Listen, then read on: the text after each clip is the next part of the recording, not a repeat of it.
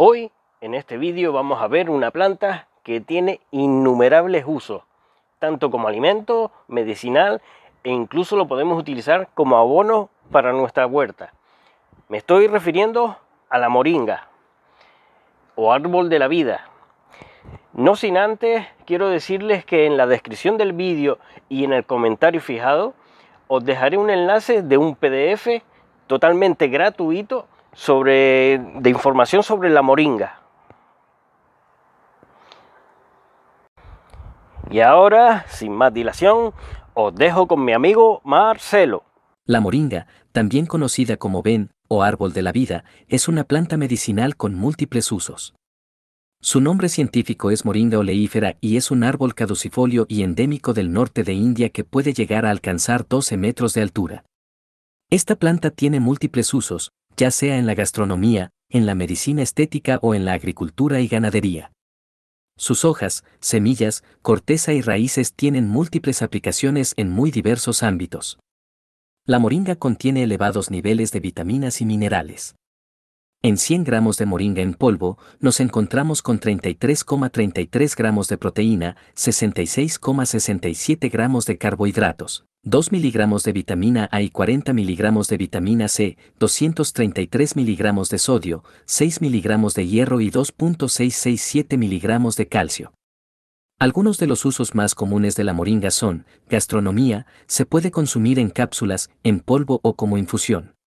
Ganadería y agricultura, el árbol de la vida sirve también como pasto, abono y fungicida contra hongos.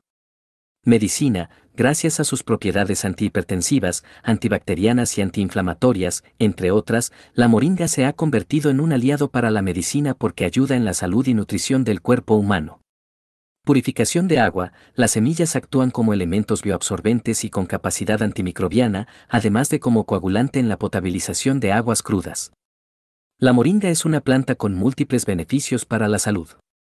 Algunos de los beneficios más destacados de la moringa son protección y nutrición de la piel y el cabello. El aceite de semilla de moringa es beneficioso para proteger el cabello contra los radicales libres y mantenerlo limpio y saludable. Control de los niveles de glucosa. La moringa ayuda a controlar la glucosa y el azúcar en sangre, lo que puede ser beneficioso para tratar la diabetes. Propiedades antioxidantes, antiinflamatorias, antihistamínicas, antibacterianas, hipolipemiantes, hipoglucemiantes, eupépticas, favorece la digestión, emolientes, dermoprotectoras y antifúngicas. Bien, como podéis observar, la moringa es una planta que tiene multitud de usos, por eso mi interés en cultivarla en mi huerto terraza. Es una planta interesante para consumo por su cantidad de vitaminas y minerales que posee, además también por sus propiedades medicinales pero es que además la podemos usar en la huerta como abono o como fungicida. Bueno, hasta aquí el vídeo de hoy. Espero que os haya gustado y si es así, regálame un like y hasta un próximo vídeo. Chao.